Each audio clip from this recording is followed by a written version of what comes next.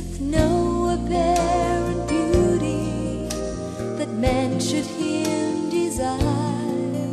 He was the promised Savior to purify with fire.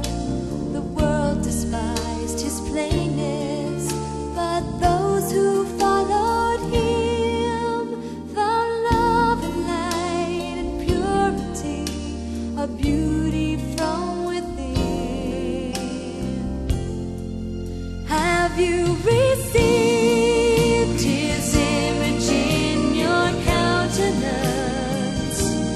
Does the